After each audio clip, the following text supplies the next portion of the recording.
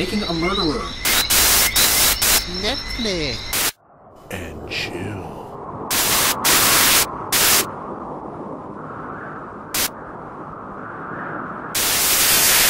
Welcome to Netflix and Chill, where we watch Netflix programs and let you know what we think of them so you can make up your mind whether you want to watch them or not yourself. And today we're going. Again, I am here alone because, yeah, uh, Sarah and Leslie started watching this without me, I mind you. And they didn't get past a couple, one or two episodes, they just didn't like it.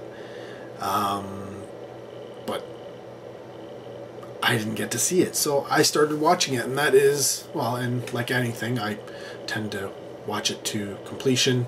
So we are talking about the first, what they call part, even though I guess you'd call it a season.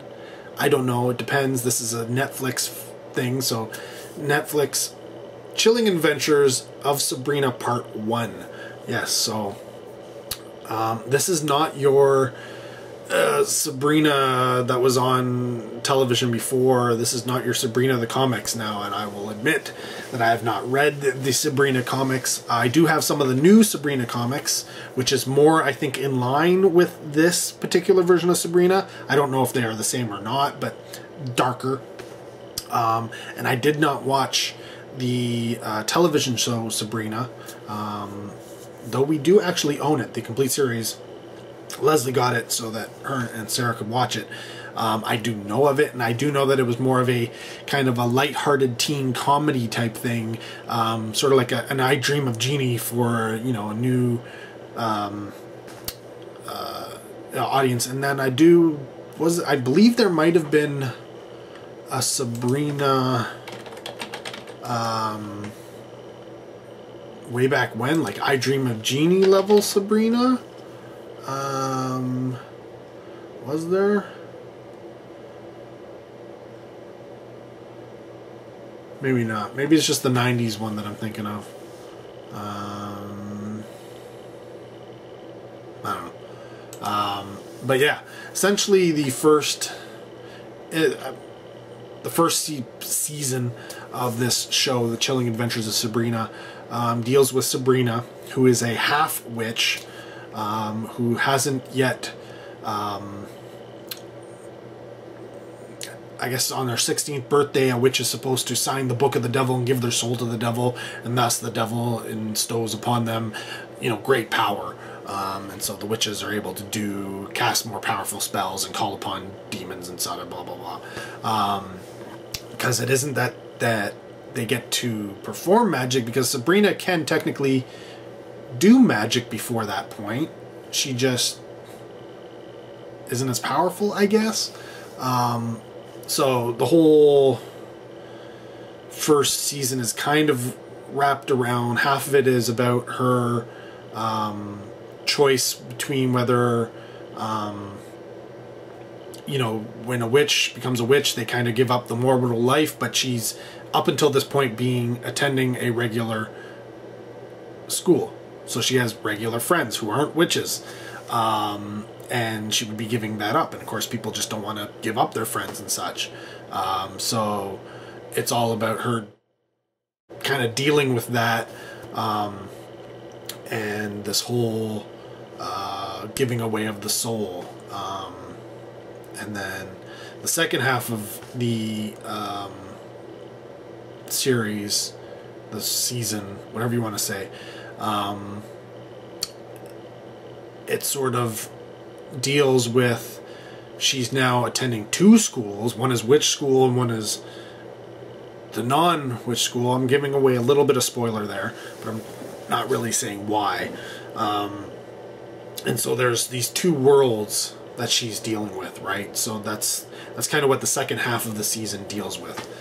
Um, now, this is not anything like Sabrina of old. Uh, I'll just say this is a darker Sabrina. Um, and I'm not even saying darker in the terms of Buffy level darker. This is more darker.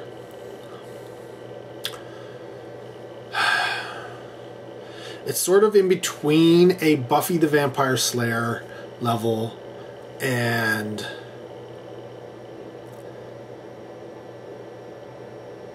maybe I haven't seen enough of the Vampire Diaries to say it's along that level, but it's definitely not. Um, shoot, what was that Sookie vampire show? Crap. but you know the one I'm talking about, right? With the vampires and Sookie Stackhouse, um, which was like very adult and very drama and very, you know, along those lines. This is is is is is reaching towards that, but then it still has some, you know, moments of of people in, you know, masks and that sort of Buffy the Vampire Slayer type comedy going on. Um, so it's a little bit of a mix and match. There's a lot of teenage drama and things about sexuality and uh, dealing with, you know, friends and family and Satan and demons and etc. etc. Uh, going on in this uh, this show. Um, but uh, yeah, Sabrina is is played by uh, none other than Kiernan uh, Shipka. Now, Kiernan is um, mostly known for Mad Men, I think, um, where she played Sally Draper. And I didn't know this, but she did the voice of Jinora on The Legend of Korra. Um, so, wow, that's that's cool. And then, of course, she's moved on to the the Chilling Adventures um, stuff. She was also in a film um, that genre fans might know called Carriers. Um, and in 2014, she did a voice for the anime, uh, the English voice for the anime. Um, when Marnie was there, she did the voice for Marnie.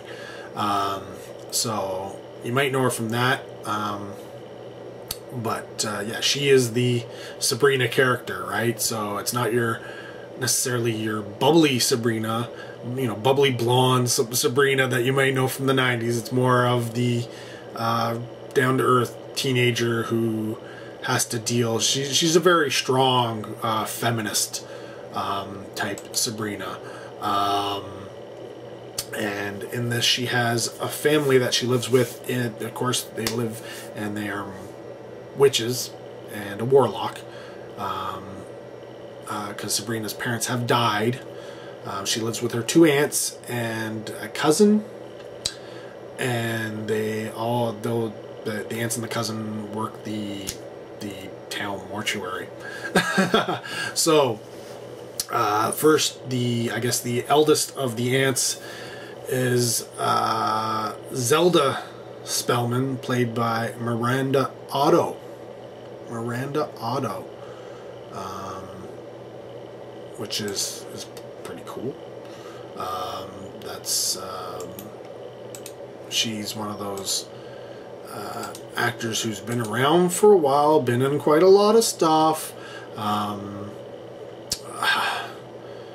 yeah, I mean, genre fans may know her from anything from Thin Red Line to War of the Worlds with Tom Cruise to um, probably best known for me from the Lord of the Rings movie where she played Eowyn.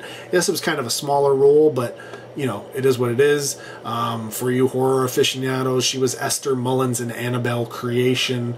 Um, she was in um, Locke and Key, I Frankenstein, um, Initiation, um, all sorts of stuff. I mean, she's she's been in quite a few things.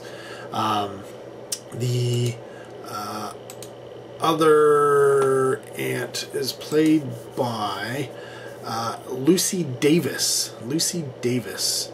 Um, and that's Hilda Spellman. Yes, their last name is Spellman, right? Um, so Lucy uh, plays the the other aunt. She's kind of like the um, the cook, you know, the bubbly. Oh, I'm more she's more yeah she's the bubbly aunt the bubbly witch if you will um, and you may know her from anything from uh, if you watch the BBC Office, she played Dawn Tinsley. Um, she was Diane in Shaun of the Dead. She played Etta in the Wonder Woman movie, the new Wonder Woman movie. Um, I'm trying to think of things that she, she's been in quite a few things, but um, most of the stuff is kind of not really popular over here. Um, Garfield too. She played Abby, if that means anything. Um, but um, if you're a big time horror fan, and I've talked about this film before, some guy who kills people. She was the Stephanie character in that film, um, and yeah, uh, it's awesome. See, she she plays the part very very well. Um, then we get the the cousin, the. I, it's nice that he's not a token person of color in this because there are quite a few people of color um, but it is predominantly white. I will not. I will not. You know, I mean Sabrina's white. Aunts are white. Most of the people at the schools are white, but there are multiple people of color at least. So it's not just one. And one of them happens to be the cousin, played by Chance per, Der, Perdomo, um, who I didn't really know him. Uh, he's a newcomer in, in as far as I know, um, I looked him up and he hadn't been in much of anything. That being said, he is he is quite talented, so I think he's somebody to look, uh, you know, keep your eyes open on in the future. Now, like I said, Sabrina is attending high school, so she's got high school friends, um, including Jaz Sinclair, who she's got great not quite not like afro hair, but like big, big, big curly hair, um, and they play it up and like really, really well in this. She just looks the part so like, yeah, just looks so good uh, with the, her hair, um, in the sense that she's she's almost got this black power, um, kind of Black Power 70s um, feminist movement look to her. And I think that's why her hair really works with it. Kind of has that 70s vibe to it. So, um, yeah, uh, again, um, hadn't I didn't really know her. Apparently, she's had a few minor roles like the the Vampire Diaries and uh, Rizzoli and Isles. Um, but uh, yeah, it's good to see that they have uh, definitely some newcomers in this. Uh, again, there is also uh, the another friend played by Lachlan Watson. Um, she plays. Um, she comes across as a very boy looking girl, which I don't know that they, I don't know that they have actually said that she's lesbian or not, but I wouldn't be surprised if her character's supposed to be along those lines. Um, and she's kind of the meek person in the group, very small in comparison. Um, again, I don't know her from anything, um, but you know, what's that doesn't mean anything. Um, she doesn't have as predominant a role as I think really um, she should have.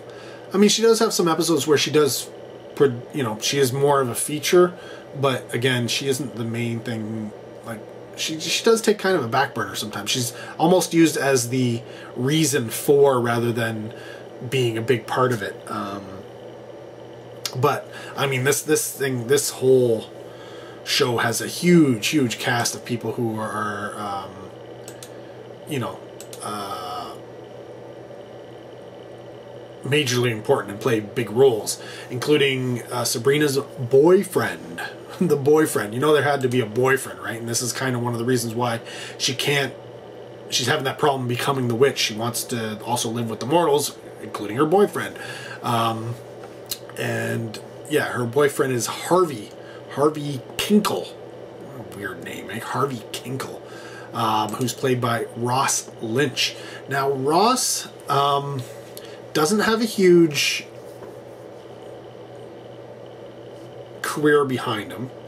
Um, apparently, Austin and Ally, the TV series, when he was younger, is where he made his his big uh, thing. But I know him from my friend Dahmer, and apparently a lot of the young people are really into this guy. He's kind of like you know a teen heartthrob, right? Um, so he's a great pick to throw into this, right? You get you increase your ratings. Like uh, I know at the Toronto After Dark, my friend Dahmer, huge crowds, huge crowds, right? So um, yeah, he played Jeff. Dom- he played the Dahmer character in that in that film. So yeah, having him in this is um, uh, definitely a bonus. Again, he even surprisingly enough, despite the fact that he's supposed to be the boyfriend, he again doesn't play as strong of a role as I would have thought. But such is life, I suppose. Um, when we get over to the evil side, we get the the chief warlock, the headmaster of the witch school, um, the guy, the evil man in charge, or he's supposed to be evil, but maybe he's just, you know, maybe he's just a witch doing witch thing, or a warlock doing warlock things, right? Uh, as Father Faustus Blackwood, um, played by Richard Coyle. Now, Richard Coyle has been in, in a variety of things. Um, Prince of Persia, you know that movie that came out based off of the, the video game. Um, Grabbers, if you ever saw that film, uh, also played at the Toronto After Dark Film Festival, by the way. Um, Outpost Black Sun. Um, Topsy Turvy. I don't know, maybe that's not your cup of tea, but he's been in quite a few variety of things, um, and I do I do think he is quite uh, suited to this role. Trust me, he does does suit this role quite well. Um, and then there's there's a variety of other ones.